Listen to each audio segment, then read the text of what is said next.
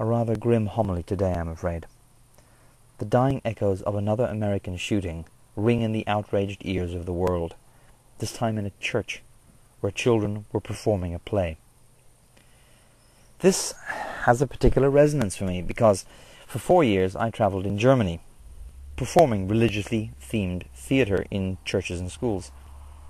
And so I was moved and disturbed by the news reports and my heartfelt condolences go out to those who have lost loved ones in yet another senseless slaughter. There has been some suggestion that the perpetrator was an atheist.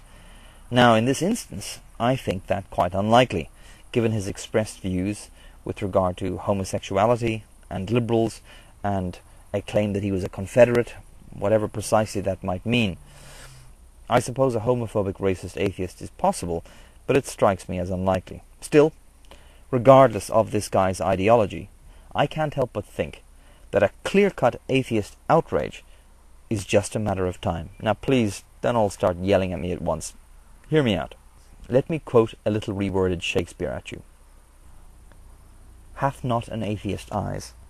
Hath not an atheist hands, organs, dimensions, senses, affections, passions?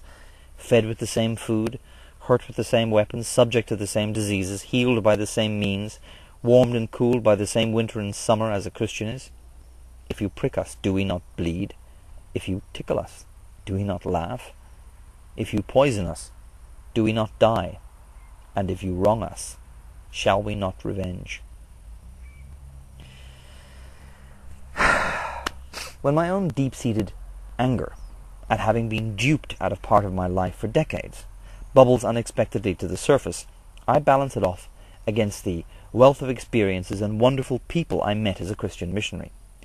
I consider how fortunate I have been in the Christians I knew, particularly in the latter years, as I became increasingly liberal, for want of a better term.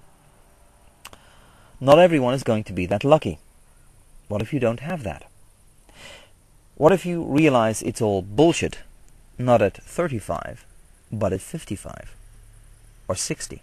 What if you have no career or savings or life? Because Jesus was supposed to provide. And worst of all, you are in that situation in the most socially Darwinian and heavily armed society on the planet.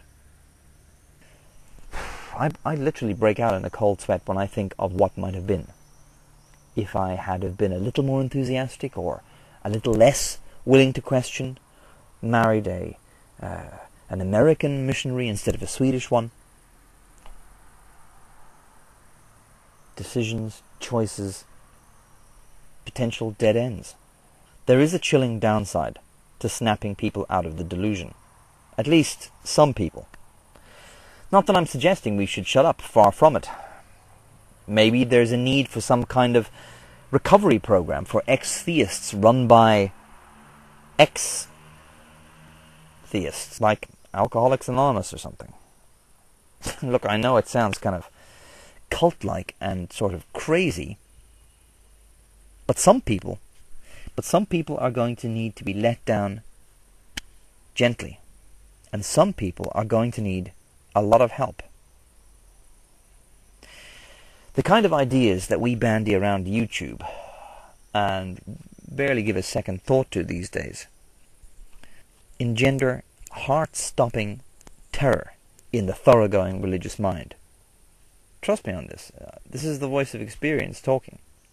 As responsible citizens of our respective societies and of the wider world, we need to think about this stuff.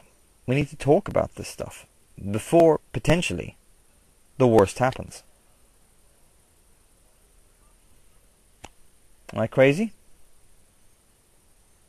Comments? Rebuttals? Agreement?